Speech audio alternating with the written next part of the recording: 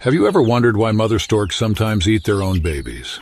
While it may seem shocking, there are several reasons why this behavior occurs in certain circumstances. Number one, physical defects or illness. In some cases, mother storks may perceive their chicks as weak or unhealthy. In an effort to conserve resources and invest in healthier offspring, they may choose to eliminate the weaker ones. Number two, resource scarcity.